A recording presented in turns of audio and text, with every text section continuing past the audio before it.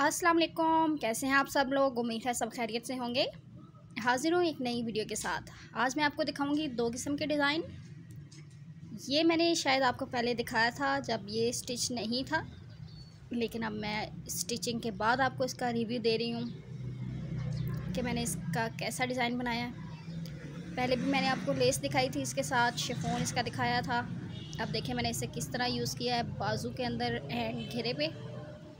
सिर्फ़ फ्रंट के घेर पे मैंने इससे यूज़ किया पिछले घेर पे नहीं यूज़ किया, ना ही बॉर्डर लगाया आप देख सकते हैं। इसकी लेस कैसे लगाई है, ये भी मैं आपको दिखाऊँगी थोड़ा आगे चल के, ताकि आपके लिए ज़रा आसानी हो जाए ना।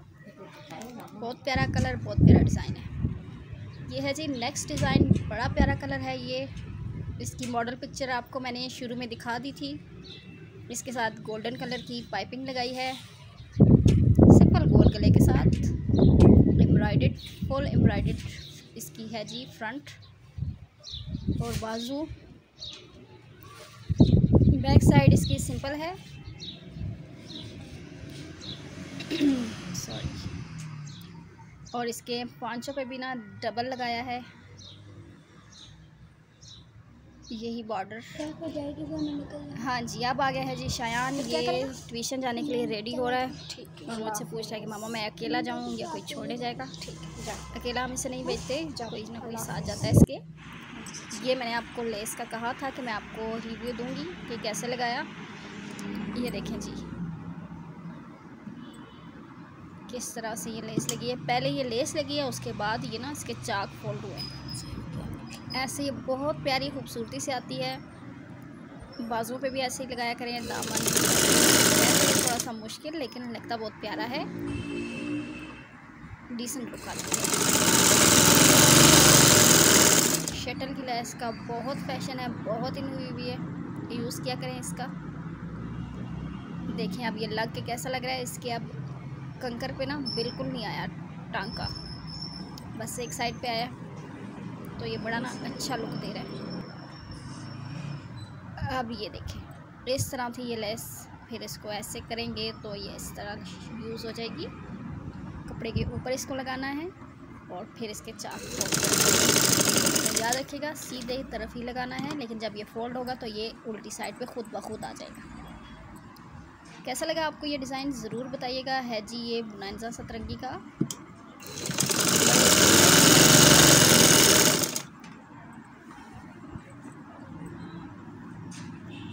का यूज़ हुआ है, लेकिन पर्सनली मुझे टिश्यू नहीं अच्छा लगता क्योंकि ना लग सबकी अपनी अपनी पसंद, अपनी अपनी मर्ज़ी।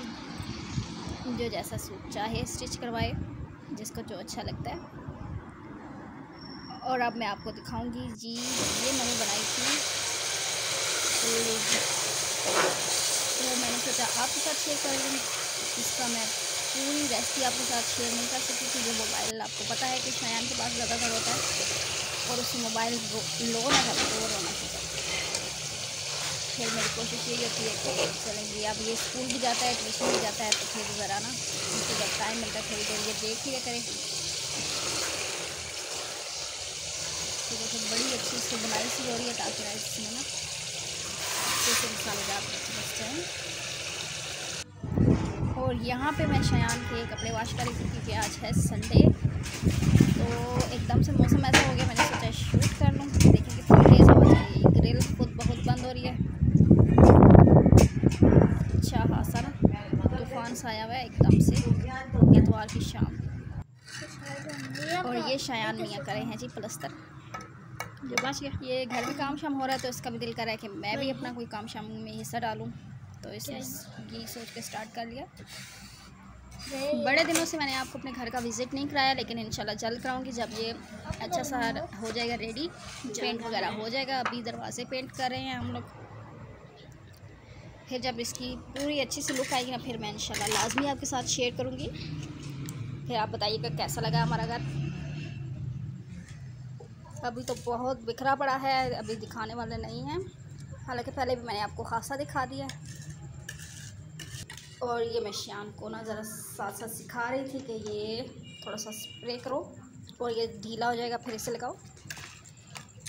अब इसके मैंने शुक्र किया कि किसी काम में शिया ने इंटरेस्ट लिया क्योंकि ये ना मोबाइल के अलावा ऐसे कुछ अच्छा नहीं लगता पिछली वीडियो में आपने देखा होगा कि ये जब छोटा सा चुनु मुनो सा बेबी था तब से इसने मोबाइल यूज़ करना शुरू किया तो अब इसकी आदत ये कैसे छूट सकती है?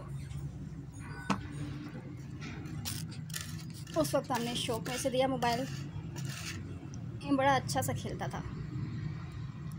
तो अब इसकी ना आदत सरा बन गया।